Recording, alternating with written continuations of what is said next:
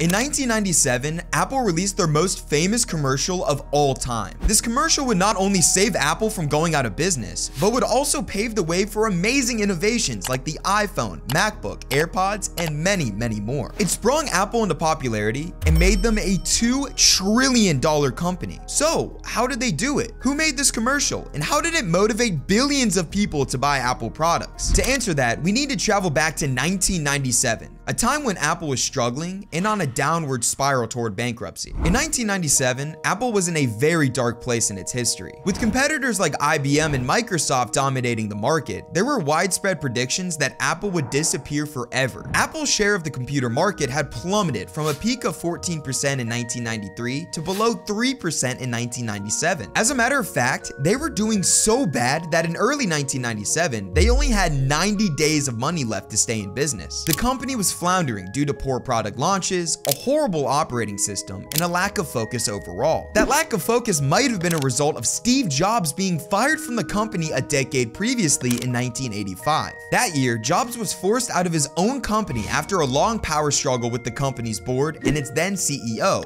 John Sculley. Thirsty for revenge, Jobs took a few Apple employees with him to create Next, a computer platform development company that specialized in computers for higher education and business use. Steve Steve would eventually get his revenge because in mid 1997, Apple ironically bought out Steve's company because he had created a revolutionary operating system called NextStep, which would later serve as the foundation for Mac OS. Apple welcomed him back as the CEO, and now that Jobs was back, it was time for him to plan a revival for Apple. He instantly noticed one problem that was destroying Apple's brand and reputation their advertising strategy was horrible. Apple was running more than 25 different advertising campaigns all around the world, and all of them were misaligned with the brand's core beliefs. Also during this period, BBDO, Apple's advertising agency, had opted to focus its advertisements on specific Apple products and the technological features of Apple computers. These efforts did nothing to ease consumers' fears that Apple was eventually going to go out of business. People didn't want to buy a computer that they thought wouldn't be around the next year. Steve knew that Apple needed a brand new single advertising campaign to woo consumers back to the brand. He wanted to find a new advertising agency to do so so he dropped BBDO and searched for a new one. And this search would eventually lead to the advertising agency that would create Apple's most influential campaign of all time. During this same time period, an ad agency called TBWA was going about business as usual. They were a huge ad agency that worked with big companies like Nissan and Infiniti. One day at work, Lee Clow, the chairman and global director for the agency, got a call from Steve regarding a meeting he wanted to have with them. Excited as can be, Lee, along with Rob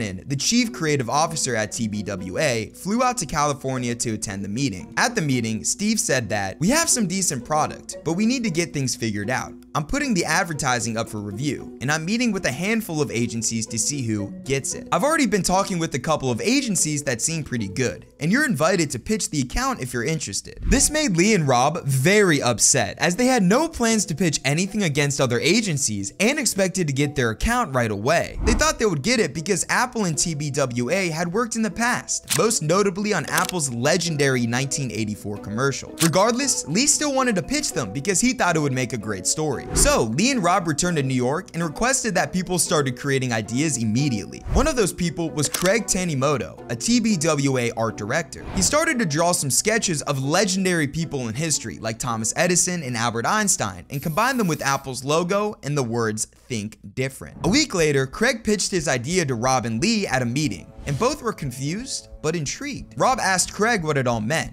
and he said, IBM has a campaign out that says Think IBM, a campaign for their ThinkPad computer, and I feel Apple is very different from IBM, so I felt Think Different was interesting. I then thought it would be cool to attach those words to some of the world's most different thinking people in the world. Rob and Lee loved the idea and tasked everyone in the room to start making a commercial about the idea and to blow it out on other media. The commercial they ended up making was over two minutes long, which was over the standard length of one minute, but it perfectly portrayed the vibe TBWA was going for. The commercial featured different thinking legends like MLK, John Lennon, Amelia Earhart, Muhammad Ali, and many more. The message of the commercial communicated what Apple stood for by celebrating and linking Apple to those innovators who moved the world ahead. The inference was that Apple users also think different, ask different questions, and potentially change the world. With the idea set in stone, Lee and Rob flew out to California to pitch the idea to Steve. Lee was the one who gave the entire pitch, and he nailed it. After the pitch, Jobs looked around the room filled with Think Different billboards and said, This is great. This is really great but I can't do this. People already think I'm an egotist, and putting the Apple logo up there with all these geniuses will get me skewered by the press. Steve then paused, looked around the room, and said, What am I doing? Screw it. It's the right thing. It's great. Let's talk tomorrow. Steve didn't know it, but by bringing back TBWA, he would not only change the course of Apple, but the world as we know it. Lee and Rob were excited and more motivated than ever to finish and release the campaign but there was a problem. The problem was that their commercial was too long and needed to be cut down from 2 minutes to 1 minute. So Rob rewrote the script of the commercial and cut down the dialogue to 60 seconds. He based the new script on quotes from Robin Williams in Dead Poet Society and he loved it. Lee loved it as well, so the two shared it with a bunch of people around the office, and several of them said it gave them goosebumps. With high hopes, Rob re-recorded a rough cut of the script, and the duo once again flew to California to share it with Steve. They played the audio for him once, and when it finished, Jobs said, It sucks, I hate it, I thought you were going to write something like Dead Poet Society. This is crap. Rob was taken back by his outburst. He had poured his heart and soul into the piece, but Steve was still going off on him. Jobs continued to say he thought it was crap,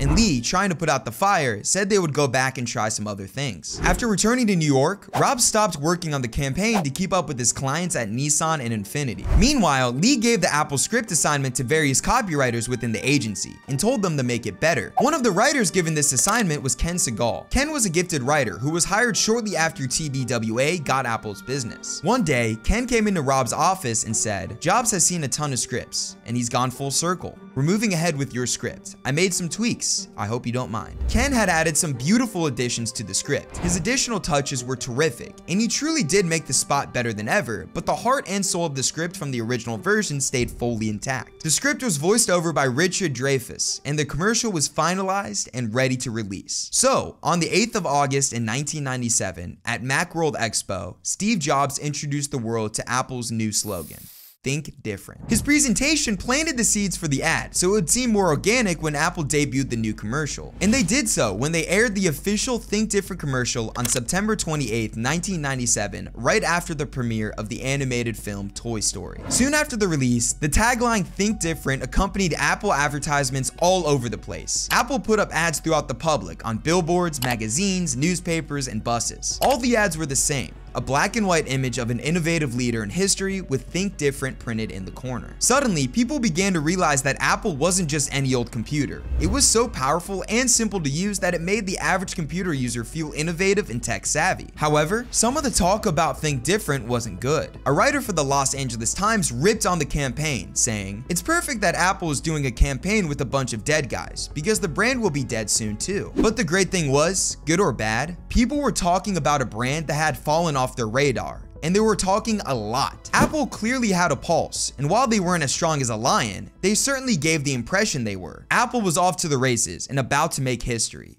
And they did exactly that. A year after the commercial launched, Apple's stock price had tripled. And by 2000, Apple was worth $5 billion, over double what they were worth in 1997. But the impact of Think Different was much bigger than the numbers. The tagline of the campaign expressed how, under Steve Jobs' leadership, Apple would construct a radically different future from its troubled days in the early 1990s. Apple's core beliefs of thinking different led to products like the iPod, iTunes, the App Store, the iPhone, the iPad, AirPods, the Apple Watch, and many more to come. Instead of contending for existing demand, these devices all took a similar strategic approach. They reconstructed existing market boundaries and created new demand, all as a result of thinking different. It's a strong argument to say that the reconstruction of Apple's core beliefs in 1997 to think different has led them to become a $2 trillion company. It's what made Apple into the cult-like company we know today and has transformed the technology world as we know it.